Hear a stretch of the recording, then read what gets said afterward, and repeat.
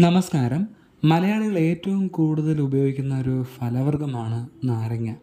പ്രത്യേകിച്ചും വേനൽക്കാലത്ത്. കേരളത്തിലെ കാലാവസ്ഥയിൽ നന്നായിട്ട് വിളവ് തരുമെങ്കിലും നമ്മുടെ നാട്ടിൽ നാരങ്ങ കൃഷി വളരെ കുറവാണ്.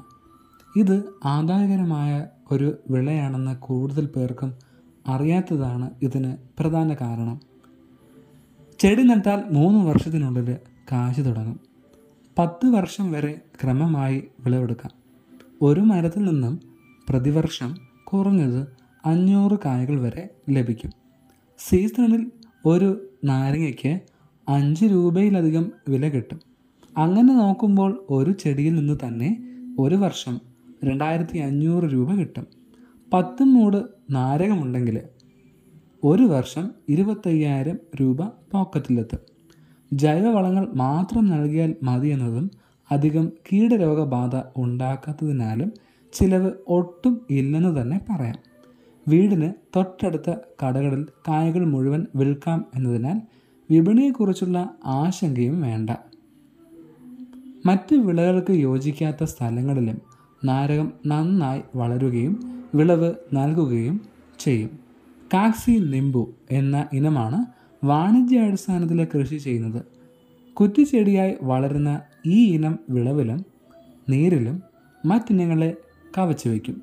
നഴ്സറികളിൽ നിന്ന് ഈ ഇനത്തിന്റെ തൈകൾ വാങ്ങാൻ കിട്ടും.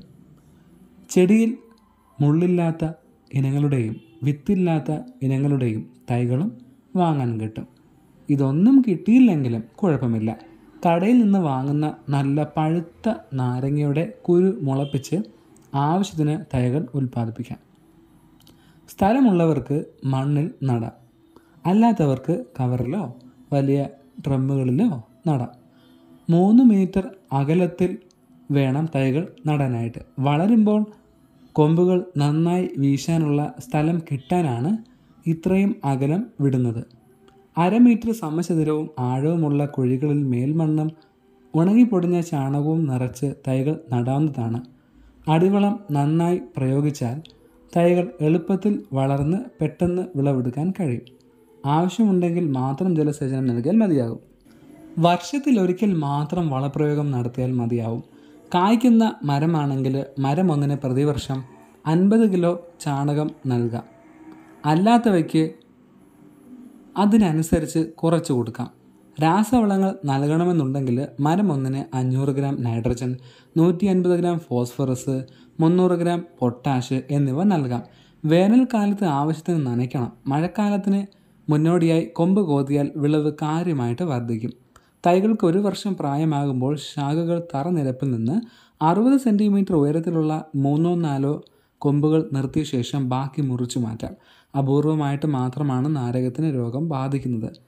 ഒരു ശതമാനം വീര്യമുള്ള ബോഡോ മിശ്രിതം പ്രയോഗത്തിലൂടെ കായകൾ ചുക്കിച്ചുളിയുന്നത് പോലുള്ള രോഗബാധകൾ തടയാനായിട്ട് കഴിയും. കായ് പിടിക്കുന്ന അവസരത്തിലും ബോഡോ മിശ്രിതം തളിക്കാം. രോഗബാധ ഉണ്ടായ ശാഖകളും കായ്കളും തീയിട്ട് നശിപ്പിക്കുന്നത് രോഗം പരക്കുന്നത് തടയും.